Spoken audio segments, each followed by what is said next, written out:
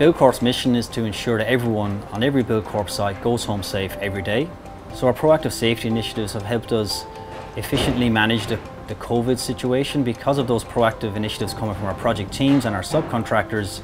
Those great ideas have been filtered through our system which we've been able to review and feedback to all other projects so they can then pick up those initiatives and standardise those proactive safety initiatives to help us reduce the risk of the coronavirus on our sites. Our members, including Buildcorp, have been very um, forthcoming in, in getting a, a, second opinion on controls and, and, processes put in place. Buildcorp were one of the first to, to put, get on the front foot and put that type of um, information together. Um, and it was with consultation with Buildcorp and, and Dave that um, we utilised uh, X amount of that in our guidance um, to, to increase the awareness um, more broadly across the industry. So one of the key proactive safety initiatives right back at the beginning that came through from one of our projects was the coronavirus screening questionnaire. We now complete that once a week on every Buildcorp site for every worker and also every visitor to fill out before they come on site.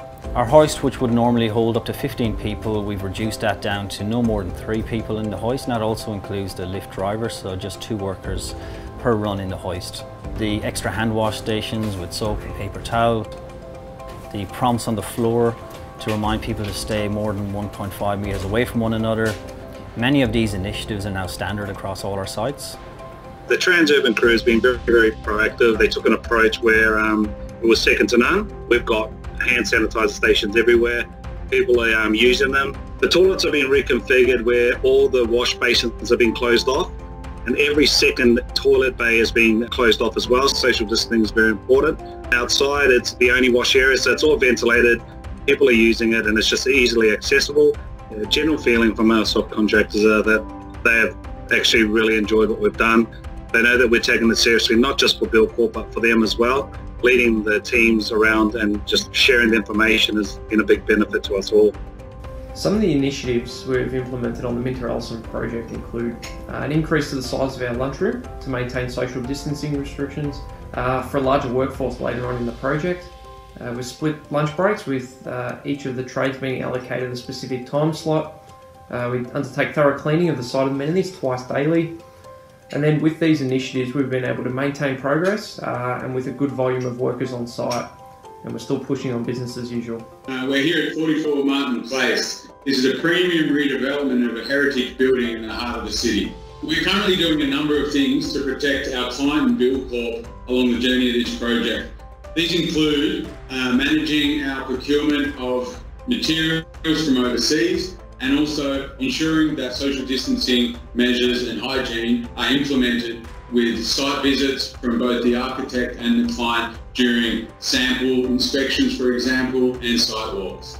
We're currently here at Ultimo looking at a remedial uh, project, Live Environment, to manage the access and uh, contact between workers who are daily screened and residents by having a locked off working area um, in which they travel via the scaffold down the hoist onto a B-class hoarding and then down through one street door, which is very separate to the lobby um, in which the residents do come and go from daily.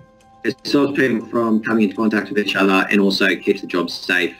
So some of the best proactive safety initiatives we've found over the past few weeks with the coronavirus is have actually come from our subcontractors with our site teams to work where they work together to try and find innovative ways to uh, manage the risk. We just helped out with um, making a few extra hand wash bays around the job, just like the one behind me.